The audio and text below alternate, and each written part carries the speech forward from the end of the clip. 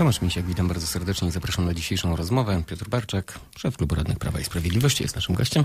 Dzień dobry, witam serdecznie. Tak sobie pomyślałem, że zaczniemy od oświaty, bardziej od tego, że właściwie okazał się pan prorokiem w pewnym sensie. Pamiętam, że rozmawialiśmy miesiąc temu z Haczykiem, e, wtedy na temat tej uchwały, którą państwo podejmowaliście e, w ratuszu dotyczącej nowej sieci szkół, Uchwała e, poszła dalej, do wyższej instancji oświatowej, nazwijmy to. No i teraz się okazuje, że w zasadzie, tak jak pan powiedział, kurator nie miała większych e, jakichś obiekcji co do tego, jak, jak wyglądała ta uchwała, którą państwo podjęliście. Wróci do ratusza za moment. Mhm, dokładnie, ponieważ tak jak wspominaliśmy właśnie miesiąc temu, to była uchwała niejako intencyjna. E, no takie są przepisy po prostu. Dokładnie tak. To jest e, dosyć specyficzna sytuacja, bo przy większości uchwał to samorząd jakby podejmuje decyzję, ewentualnie potem wojewoda może dokonać tak zwanego rozstrzygnięcia nadzorczego, jeżeli nie zgadza się z, e, z jakimiś przepisami. Natomiast tutaj rzeczywiście jest taka jakby dwustopniowość, to znaczy podejmuje samorząd, następnie opiniuje kurator i dopiero potem jakby zatwierdza, nazwijmy to ostatecznie właśnie samorząd z powrotem. Mm, e, e, raczej spodziewaliśmy się tego, ponieważ akurat wyjątkowo w tej sytuacji mm, co do sieci szkół trzeba przyznać, że była dosyć długa dyskusja, rozmowa. Kwestia, tak. Aczkolwiek, tak jak wielokrotnie wspominałem w moim przekonaniu, za późno troszeczkę i potem to budziło wiele emocji, e, wiele niewyjaśnionych e, sytuacji. Na szybko trzeba było, żeby zdążyć z terminami. To e, właściwie rozpoczęcie tych rozmów i tej dyskusji, tej, tej dyskusji nastąpiło bodajże w połowie stycznia w naszym mieście. Natomiast można było to robić już od listopada i myśmy jako Prawie i Sprawiedliwość o to właśnie zabiegali.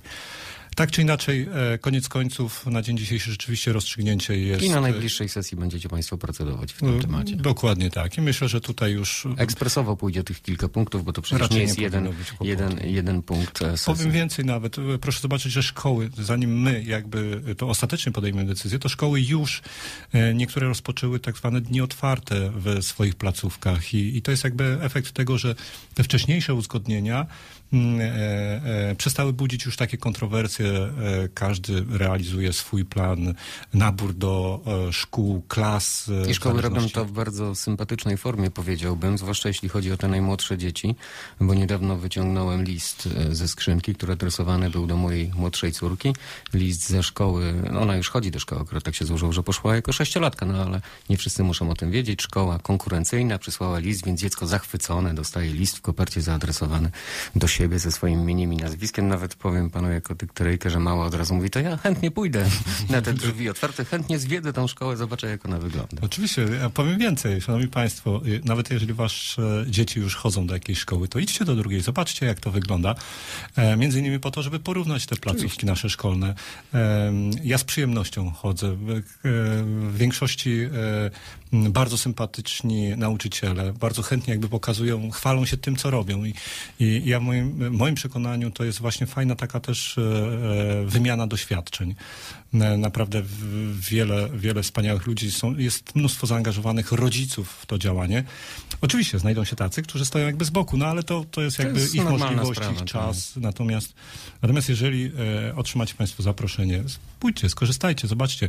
E, nigdy nie wiadomo, czy Anusz nie będzie jakiejś przeprowadzki, gdzieś zmiany miejsca zamieszkania i trzeba będzie Albo z jakichkolwiek powodów ktoś wymyśli, jeśli ma na granicy swojego obwodu, załóżmy dwie czy trzy podstawówki, bo czasami tak się tak, zdarza, żeby, żeby e, przenieść dziecko. W ogóle tak sobie pomyślałem, że szkoły i to już wszystkie, bo i podstawowe, i, i średnie całkiem nieźle działają, powiedziałbym. Akurat w tej sferze kiedyś drzwi otwarte no, to raczej nie funkcjonowało, tak. albo po prostu można było sobie przyjść, pooglądać gdzieś tam szkołę. A teraz nie tyle, że to działa, ale jeszcze szkoły potrafią ze sobą bardzo zdrowo konkurować i we wszystkich ogólniakach w ostatnim czasie mieliśmy, mieliśmy drzwi otwarte. W tej chwili jest taka duża akcja prowadzona przez mm, pracowników Uniwersytetu Zielonogórskiego, którzy też w szkołach e, średnich prowadzą specjalne zajęcia z młodymi ludźmi, tak aby być może przekonać ich do tego, żeby zostali w Zielonej Górze, ale przy okazji mówią o tym, co trzeba zrobić, jak się przygotować e, za te kilka miesięcy, kiedy, kiedy będą wybierali uczelnię. E, ja bardzo się cieszę z takich właśnie e, współpracy, ponieważ to jest taka forma trochę kontynuacji, to tak samo jak i mm, potem dalej, jakby planując ścieżkę tą edukacyjną, ale potem zawodową, e, to młodemu człowiekowi dużo lepiej jest wybrać szkołę, kiedy wie na przykład, co będzie po tej Oczywiście. szkole, po danym kierunku robił. A zatem takie partnerstwo właśnie tutaj z uczelnią, ale bardzo często właśnie zakładami pracy e, i to zakład pracy przychodzi i mówi, słuchajcie, jeżeli pójdziecie do takiej klasy, do takiej szkoły, to potem u nas możecie robić to i to, e, to ułatwia ten wybór, tak? Ponieważ daje też bezpieczeństwo, czy poczucie bezpieczeństwa później w przyszłości, co, co ja mogę robić. A tak? okazuje się, że młodzi ludzie bywają bardzo wybredni. Nie tak dawno odbywały się na Uniwersytecie Targi Pracy, notabene 15 chyba z rzędu. E, zresztą organizatorzy, Biuro Karier UZ, e, szefowa tego biura mówiła, że kiedy robili te pierwsze targi, to mieli w ogóle problem, żeby jakiegokolwiek przedsiębiorcę ściągnąć, a w tej chwili na kilka miesięcy przed mają zamkniętą absolutnie listę. Tam były tłumy ludzi, tłumy młodych ludzi, którzy przyszli w konkretnym celu e, spotkać się i nie tylko z polskimi firmami, bo były też zagraniczne, ale przedyskutować i często wie pan, jakie się słowo pojawiało? Nie ile będziemy u Was zarabiać, tylko czy mamy możliwości rozwoju, czy będziemy mogli dokształcić się w jakiś sposób, czy będziemy mogli rozwinąć jeszcze bardziej te umiejętności, które mamy. Świetne podejście, rewelacyjne. Ja myślę, że ta e, wymiana komunikacji, e, wymiana informacji, dostęp do tej informacji jest tak szybki w tej chwili, e, tak szeroki, można powiedzieć właściwie światowy, tak? bo, bo, bo nie ma prawie żadnych tak. ograniczeń, że i świadomość tych, którzy wybierają, czyli młodych ludzi, jest dużo większa. Dużo szybciej e, przygotowują się do tego, nazwijmy to, rynku pracy. E, z jednej strony to oczywiście no, rodzi też problemy, bo to jest gdzieś tam jakiś stres, to jest już e, e, e pewne angażowanie się bardzo mocne, bardzo potężne, gdzieś uciekanie tej młodości tak naprawdę. Natomiast, e, no właśnie, są plusy i minusy. Z drugiej strony człowiek ma tą swobodę już, nie ma tego dylematu, a przynajmniej w trakcie nauki nawet jeżeli zdecyduje się na jakiś inny kierunek, to oczywiście bardzo często to jest tak, że może dobrać czy drugi, tak jak na uczelni, fakultet, tak. czy, czy, czy, czy, czy potem powiedzmy drugi kierunek. I, e, i to jest... No, widać, że młodym ludziom na tym zależy. Oczywiście pewnie nie można generalizować, ale to dobrze, że są tacy, którzy, którzy mają ciśnienie, mówiąc młodzieżowym językiem, na to, aby, aby się dokształcać. No weźmy przykład ostatni z brzegu. Młodzi ludzie budują tego mini satelitę, który, który mhm. będzie startował. Gimnazjaliści i licealiści, w tym jeden z olimpijczyków z matematyki od lat nie miał ktoś e, w naszym mieście tak wysokiego e, wyniku. Młodzi ludzie zaangażowani, oni wiedzą, wiedzą co chcą. No, między innymi dlatego Herc się nimi interesuje, tak? Czy ja myślę, że to, to, to jest jakby e, przesunięcie tej świadomości, że nie tylko chodzi o wiedzę, ale przede wszystkim i bardziej o umiejętności. To znaczy o to, żeby młody człowiek tą swoją pasję rozwijał, a przez to zdobywał tą wiedzę. E, jeżeli ktoś ma umiejętności, to, to wie, jak dotrzeć do wiedzy. Oczywiście. I ja myślę, że to, e, to też wielu nauczycieli jakby rozumie i, i coraz częściej jakby kierunkują w tą stronę. I to jest w moim przekonaniu bardzo dobry, słuszny kierunek. Ja z tego powodu się cieszę, tym bardziej, że mam jeszcze e, małe dzieci, które już mogą korzystać jakby z tego dobrodziejstwa. Co prawda niejednokrotnie trzeba jeszcze tam wspomagać, tak jak ostatnio robiliśmy wiatraki czy jakieś inne urządzenia z odpadów, bo, bo był konkurs ekologiczny. Mm, więc uśmiecham się przy tej sytuacji sytuację, ale to jest tak naprawdę właśnie rozwijanie ich umiejętności, no ich właśnie pewnych nabywania, jak sobie poradzić no, jak z rodzicami pracują, to też budowanie więzi, to też jest przecież bardzo, bardzo istotne, bo pewnie też znajdziemy takich rodziców, którzy powiedzą, tam jest twój pokój, tam jest twój komputer i tam sobie no, siedź. Tak?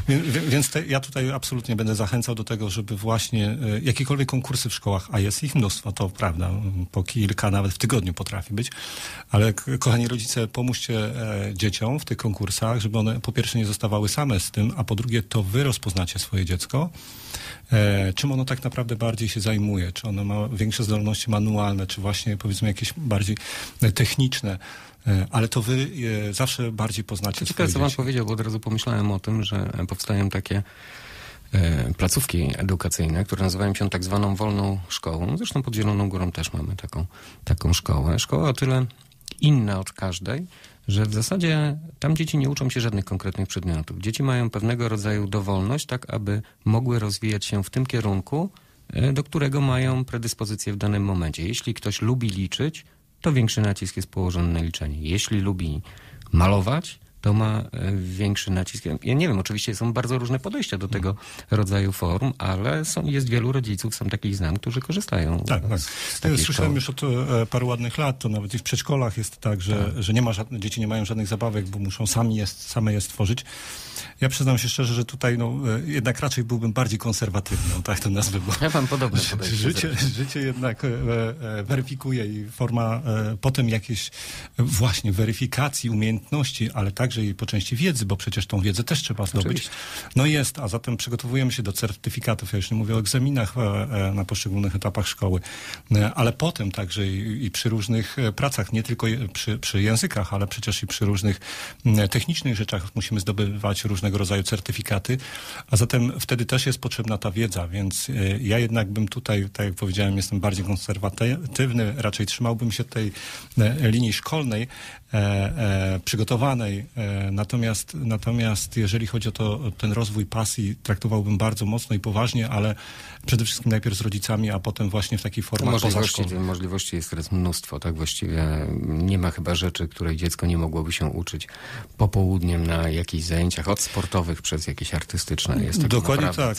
ja powiem więcej, panie redaktorze, bo e, w pewien sposób został wprowadzony mm, ta forma tak zwanego 500 plus dla dzieci, ale ja już dużo wcześniej i dużo da, mm, dawniej, tak to nazwę, dawniej wspominałem o tym, że w Zielonej Górze tak naprawdę powinien powstać taki bon e, edukacyjny, ale nie taki, który idzie do szkoły na utrzymanie tego dziecka w szkole, bo jakby taka quasi forma tego bonu funkcjonuje, natomiast e, rzeczywiście... Wspomagający popołudniowe zajęcia. Rzeczywiście tak, na zajęcia tak zwane dodatkowe i to e, osobna rzecz na e, zajęcia sportowe, a osobna rzecz na zajęcia takie powiedzmy edukacyjno-artystyczne.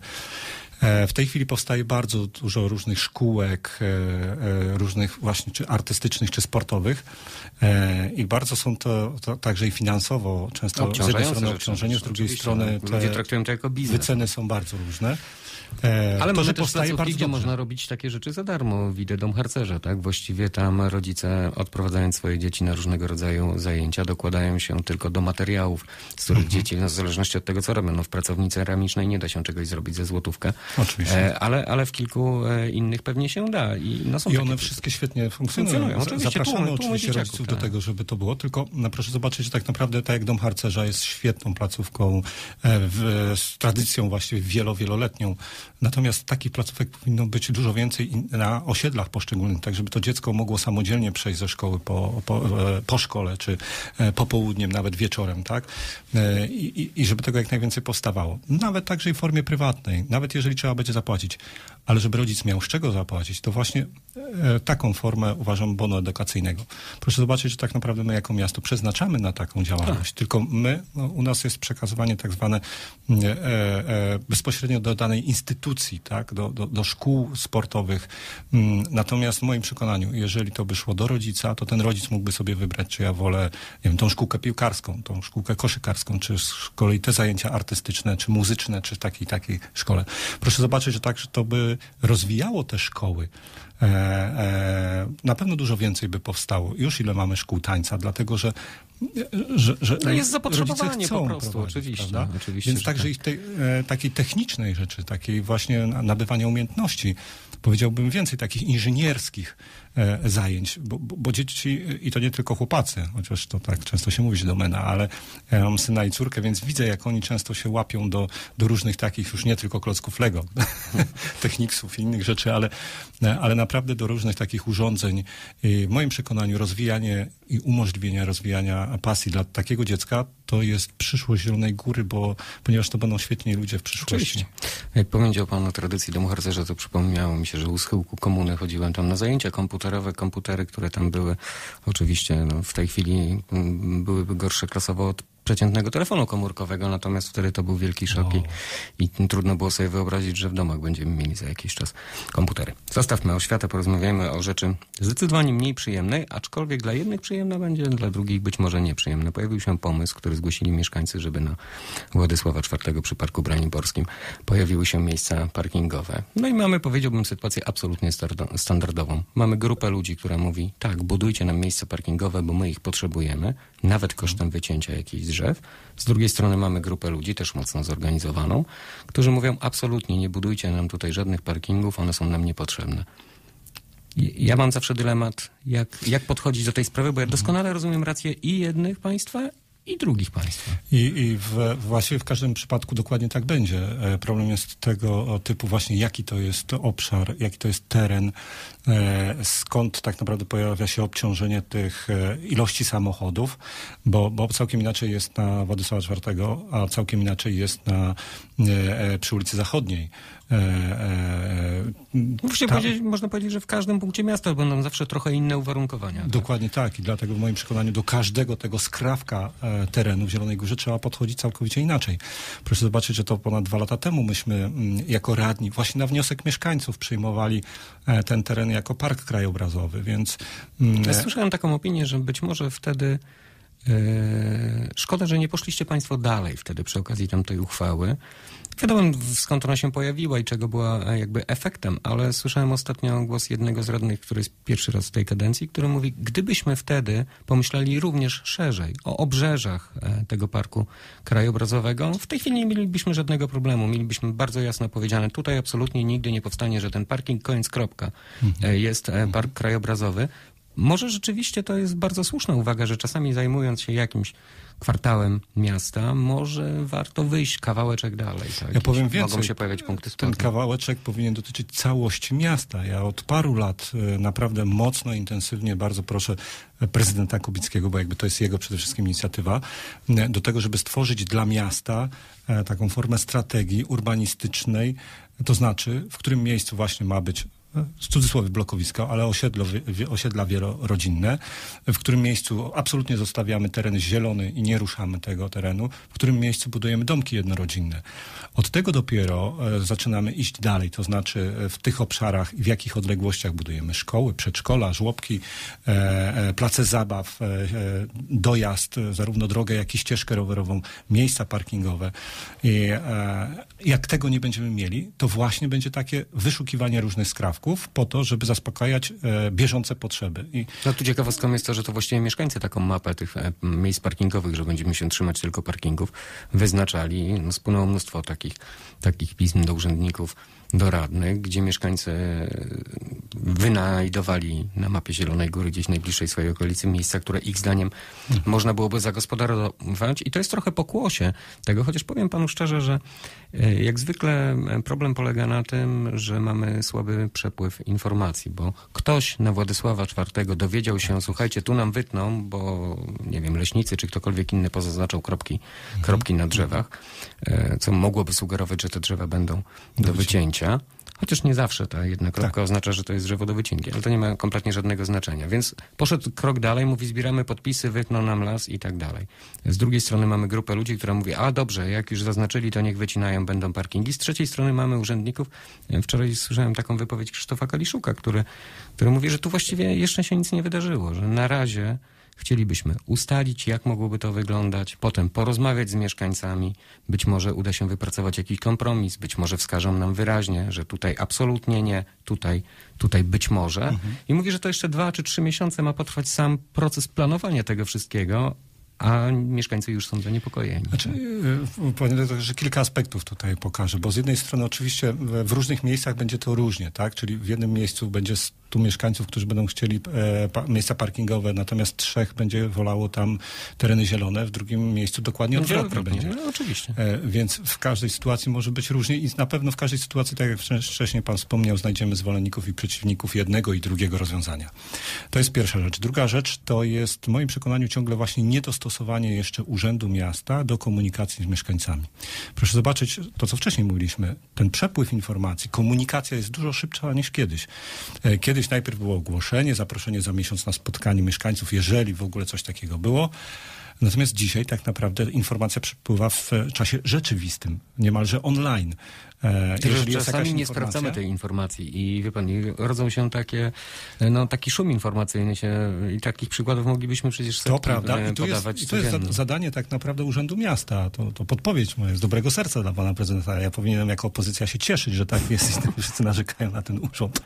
Ale tak naprawdę tutaj chodzi o dobro mieszkańców, tak na poważnie rzecz biorąc, więc w moim przekonaniu trzeba stworzyć taki mechanizm. My od dawna mówimy komunikacji z mieszkańcami i to szybkiej komunikacji, bo co za problem wywiesić od razu informację, zaprosić na, e, następnego dnia czy za dwa dni e, przygotować spotkanie e, przedstawiciela Urzędu Miasta, co jest planowane, jaki jest etap dzisiejszy. Można wykorzystywać do tego media społecznościowe. No właściwie wszyscy tym... korzystają z jakiegoś Facebooka czy, czy innej formy komunikacji. Też nie byłby to problem. Łącznie z prezydentem, który łącznie bardzo często jest. Łącznie tak? z prezydentem i łącznie z, z Urzędem Miasta, bo przecież to, też mają swój Dlatego ja powiedziałem, to, to, nie chodzi o prezydenta miasta jako osobę, jako pana Janusza Kubickiego, ale stworzyć taki mechanizm w urzędzie, który właśnie w taki sposób będzie funkcjonował. E, tu taka dygresja, no, muszę przedłożyć, bo akurat w biurze prezydenta pracuje naprawdę mnóstwo ludzi, więc gdyby się zajęli właśnie taką formą komunikacji z mieszkańcami, tym bardziej, że zbliżają się wybory, więc pewnie będą nad tym siedzieć, e, e, ale w dobrej sprawie. Oj, to znaczy nie, nie wiadomo, czy akurat e, będą nad tym siedzieć ci e, urzędnicy, którzy tam pracują. Bo... Wszyscy będą siedzieć, bo będą chcieli utrzymać stan, jaki mają. Także to absolutnie powiem tak, że jestem przekonany, niezależnie kto będzie startował na prezydenta ze strony, e, nazwijmy to ekipy prezydenta. Czy prezydent będzie startował, czy też nie, to podejrzewam, że te to osoby, dzisiaj wszystko wskazuje na to, że prezydent raczej nie bardzo. Walczyć. E, przynajmniej biorąc pod uwagę zapowiedzi. Tak? Nie Tego, co ma się wydarzyć do wakacji, chociaż ja też bym te zapowiedzi traktował bardzo luźno. No i tu jest kolejna jakby sytuacja. Nie mamy jeszcze żadnych właściwie rozwiązań dotyczących wyborów samorządowych, e, kadencyjności, niekadencyjności. Szum jest niesamowity, ale tak naprawdę dopóki nie ma e, projektu nawet ustawy, założeń do ustawy, to, to myślę, że spokojnie możemy co najwyżej pogdybać. Natomiast wracając do tej komunikacji z mieszkańcami, tu w Zielonej Górze mamy dużo łatwiejszą i w moim przekonaniu trzeba wypracować taki mechanizm, trzeba informować mieszkańców na bieżąco, co się dzieje, e, ponieważ oni sami tego oczekują. A to, że się angażują, to ja tylko ich chwalę, bo to zaangażowanie no to rzeczywiście naturalnie. społeczne jest dużo większe i, i bardzo dobrze, że reagujemy na różne zdarzenia. E, jedna rzecz ważna. Wszyscy wszyscy od lewa do prawa, od prawa do lewa, przez środek, środek i, i, i różne inne instytucje, musimy się też uczyć tej formy rozmowy, bo e, niestety... To jest też pewnego czasie... rodzaju nowość, powiedziałbym, jeśli chodzi o taki szerszy rodzaj konsultacji, który niejako model tego narzucili sami mieszkańcy. Kiedyś mieszkańcom wystarczyło, że gdzieś tam było coś powieszone no, na jakiejś kartce no, i, i, wszystko było jasne. Teraz mieszkańcy idą krok dalej, oni chcą rozmawiać. Tak? Chcą Ale i bardzo dobrze, to, to, to są ich, to znaczy nasze, nasze to są pieniądze, e, to no jest tak, nasze tak. Więc każdy z nas chce mieć jakieś poczucie odpowiedzialności, chce mieć też wpływ na to i, i w moim przekonaniu bardzo dobrze. E, ja pamiętam, jak e, za łebka oglądało się filmy takie amerykańskie, gdzie społeczność jakaś się zbierała, był tam, nie wiem, szeryf danej miejscowości, burmistrz i, i rozmawiał z, o jakichś tam drobnych problemach. Ale ja myślę, że do tego właśnie u nas tak, tak samo dochodzi, tak? I, I bardzo dobrze, to znaczy bądźmy jak najbliżej mieszkańców. A wybierze się pan na konsultację 1 kwietnia na wzgórze Piastowskie? No z wielką przyjemnością. No, żona by mi nie, nie podarowała. Przecież tam właściwie się wychowywała, całe życie tam funkcjonowało. Bardzo często z dziećmi tam spędzałem. Nawet w tym roku, mimo że ta zima nie była długa, jeździliśmy tam na, na sankach e, z dziećmi, więc e, z przyjemnością tam będę. No jestem bardzo ciekawy tego, jak, jak wyglądać będą te konsultacje, chociaż o tym wiemy coraz więcej. No widać, że tutaj strona urzędnicza, nazwijmy to, nie tylko też społecznicy, którzy coś nam przygotowują, przygotowują się naprawdę mocno. Myślę, że takiej konsultacji jeszcze nie mieliśmy, ale zastanawiam się, jaki będzie wydźwięk tego i jak podzielą się, bo podzielą się na pewno e, mieszkańcy naszego miasta. Z pewnością. Ja, ja idę, z, nazwijmy to, z otwartym umysłem. Chcę wysłuchać jednych i drugich. I, a może z tych wszystkich właśnie pomysłów zrodzi się jeszcze trzeci, Oczywiście. który będzie wszystkich satysfakcjonował. Ja myślę, że to, natomiast to, co wspomniałem też wcześniej, jeszcze raz chcę powtórzyć, musimy też się nauczyć e, tej debaty społecznej. Musimy, każdy z nas, tak jak powiedziałem, niezależnie od lewa do prawa, starszy czy młodszy, ale w tej umiejętności szanowania siebie nawzajem jako drugiego człowieka, wtedy znajdziemy najlepsze Chociaż okazuje się, że niektórzy są przyzwyczajeni do tego systemu, wywiesili kartkę i wystarczy, bo niedawno odbywały się konsultacje w okolicach ulicy Objazdowej. Przyszło tam kilku mieszkańców, z czego jeden zabierając głos powiedział, a po co wy w ogóle tu coś organizujecie? Po prostu róbcie to i tyle. No. No. Można mieć i takie podejście. Tak? Dokładnie tak. No ale to, to zależy też od rozwiązania. Jeżeli ono jest na tyle jakby oczywiste i dobre, no to tylko działać i robić. Piotr Barczek, szef Klubu Radnych Prawa i Sprawiedliwości. Dziękuję, Dziękuję bardzo. bardzo Państwu. more.